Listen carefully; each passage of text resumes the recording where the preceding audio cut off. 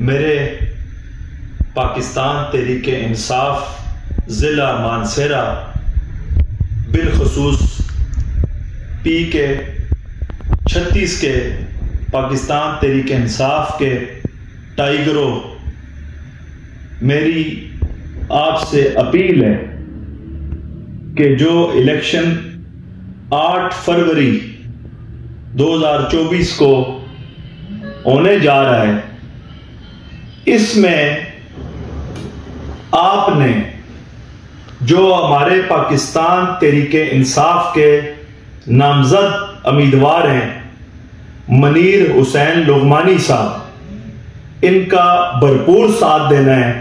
बसमीम ईया का नाबुदू व ईया का नस्ताइन मेरे पाकिस्तान तरीके इंसाफ ज़िला मानसेरा बिलखसूस पी के छत्तीस के पाकिस्तान तहरीक इंसाफ के टाइगरों, मेरी आपसे अपील है कि जो इलेक्शन 8 फरवरी 2024 को होने जा रहा है, इसमें आपने जो हमारे पाकिस्तान तरीके इंसाफ के नामजद उम्मीदवार हैं, मनीर हुसैन लोगमानी साहब, इनका भरपूर साथ देना है और इनको कामयाब करवाना है। बाकी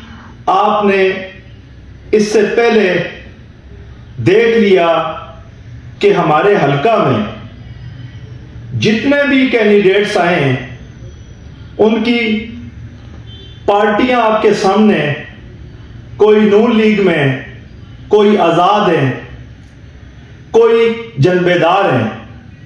हमारा नज़रिया इमरान खान है। और इन चोरों, लुटेरों और डाकुओं ने जिस तरह हमारे मुल्क के साथ पीडीएम की गवर्नमेंट ने डेढ़ दो साल में तबाही बर्बादी की है ये आपके सामने। और वो लोग जो दो बार वज़ीर अला रहे, दस साल सूबे में पाकिस्तान तहरीक इंसाफ की गवर्नमेंट रही, बदकिस्मती के साथ वो भी भाग गए। और बाकी लुटेरों ने इन पीडीएम के चोरों ने जो हमारे मुल्क का हशर किया है कि आज गरीब और सफ़ेद पोश लोग अपनी इंतहाई इंतहाई मुसीबत की ज़िंदगी गुजार और ये कहते हैं, मतवस तबका और फलां तबका। मेरे पी के छत्तीस के शहरों मेरे पी के छत्तीस के पाकिस्तान, तेरी के इंसाफ के टाइगरों। मुतवस तबका तो इमरान खान के दौर में खुशहाल था। मामूली सी एक महँगाई होती थी तो मैं खटक टीवी पहलवान के खिलाफ मानसेरा में खड़ा होकर बात करता था।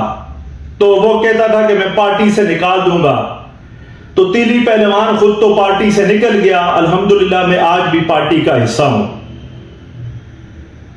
दूसरी तरफ़ एन ए चौदह पर जो मेरे दोस्त, मेरे साथी अफ्ताब शाह साहब हैं, मैं उनसे अपील करूँगा कि पी के चालीस पर आप इलेक्शन लड़ें और इन ताला कामयाबी आपका मुकदर होगी। और एन ए चौदह पर आप जो हमारे पीटीआई के कैंडिडेट हैं आफ्ताब भाई, मैं आपसे अपील करता हूँ कि आप एन ए चौदह पर उनके हक में दस्तबरदार हो जाए। ये इसमें आपका बहुत बड़ा पन होगा। आपको टिकट नहीं दिया गया, आपने अपनी ज़िंदगी इस पार्टी के लिए वक्फ की है। अभी जो लोग बातें कर रहे हैं कि आपने प्रेस कॉन्फ्रेंस की, फलां किया फलां किया, आपने जेल काटी आपने ऊपर, आपके ऊपर एफ़ आई आर हुई, मामलात हुए, ये हर चीज़ प्रूफ के साथ मौजूद है।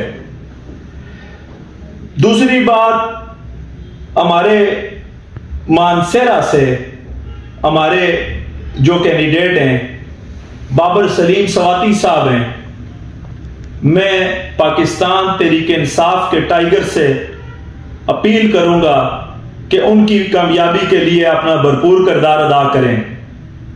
इसी तरह बाकी जितने कैंडिडेट्स तरीके इंसाफ के हैं, उनके लिए आप अपनी भरपूर किस्म की जो है वो मेहनत करें। बाकी कौमों, कबीलों की यह बात, तसब की बात, ये हमने पहले भी इसके खिलाफ थे। बिलखसूस मेरी जितनी भी बातें होती थी, तसब के खिलाफ थी। ना मैं तसब के हक में हूँ। यह वक्त पाकिस्तान तरीके इंसाफ पे मुश्किल तरीन वक्त है। और इन ताला ये वक्त, ये मुश्किल टाइम खत्म हो जाएगा और अच्छा वक्त आएगा। ये जो पीडीएम के नून लीग के और दूसरी जमातों के हैं, ये आपको भागते हुए नज़र भी नहीं आएँगे। ये तो मेरा लीडर है, मेरा मुर्शद इमरान खान है जो जेल में ना अभी तक उसके प्लेटलेट्स कम हुए, ना उसकी सेहत खराब हुई, ना उसकी तबीयत खराब हुई और वो मुकाबला कर रहे हैं इनसे। ये तो होते यकीन करें कब की चीहें मार के मुआदे करके मुल्क से फरार हो जाते हैं। बिलखसूस बिलखसूस मेरी गुजर कौम के नौजवानों, मेरी गुजर कौम के लोगों, मेरी आपसे अपील है कि आप इमरान खान का साथ दें। आप इमरान खान के लिए जदोजहद करें।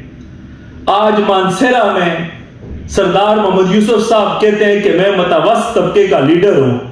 और मतवस्त तबके का लीडर एक चोर की जमात में है। सरदार साहब, हमें आपकी शराफत पे, हमें उस चीज़ पे कोई एतराज़ नहीं। लेकिन आपकी जो जमात है, वो चोरों की जमात है। उन्होंने इस मुल्क का बेड़ा गर्क किया है।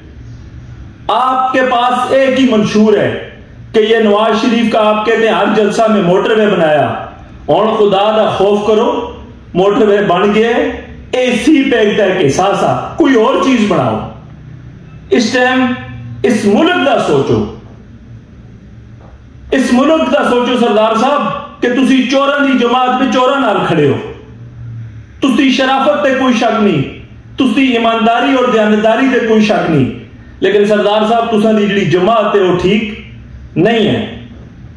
इसी तरह जड़े असा दे बाकी चूरन बेशतन अपनी बरादरी और कौमियत और तसब नात है मैं खुदारा अपील कर सा ये मनीर लोगमानी साहब को पी के छत्तीस को वोट देने।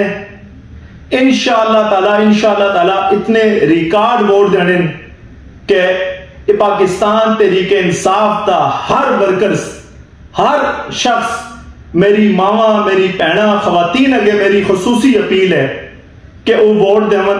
और दराटी के निशान के उत्ते मोहर लावन और इन ताला, मैं अल्लाह की जात से पुर उम्मीद हाँ कि अल्लाह की ज़ात इंशाला मदद कर सी और आप और साइड फतह हो सी बाकी ये दूसरे उम्मीदवार खड़े मैं उन्होंने भी अर्ज़ कर सा कि उन्होंने वोटर सपोर्टर हैं, सोचो अपने दिमाग के नाल कि इमरान खान सुन सूबे में दस साल में कितनी बड़ी चेंजिंग और कितनी बड़ी तब्दीली आती है।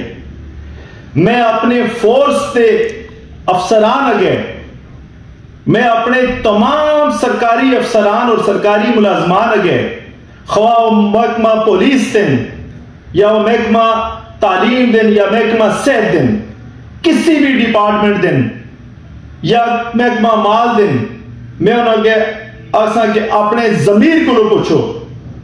कि 10 साल पीटीआई के दौर में तब्दीली आई है या नहीं आई तो तुम इन्होंने जालमा दे आखना